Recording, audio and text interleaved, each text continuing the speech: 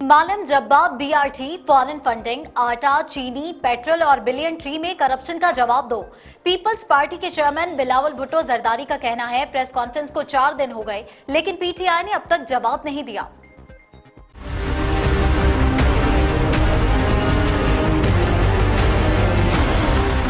बिलावल भुट्टो जरदारी के बयान पर विपाकी वज़ीर मवासलात और पोस्टल सर्विसेज़ मुराद सईद की जानब से जवाब दिया गया। कहा, पर्ची चेयरमैन ने कल प्रेस कॉन्फ्रेंस खत्म नहीं की थी कि मैंने उनका चैलेंज कबूल किया। मुराद सईद ने कहा कि हमने उनकी सलाहियतों को मद्देनजर रखते हुए बेहतरीन पैकेज भी दिया है। पर्ची चेयरमैन को तैयारी का भरपूर वक्त और मनाजरे के दिन मकाम के इंतखाब की भी आज़ादी दी।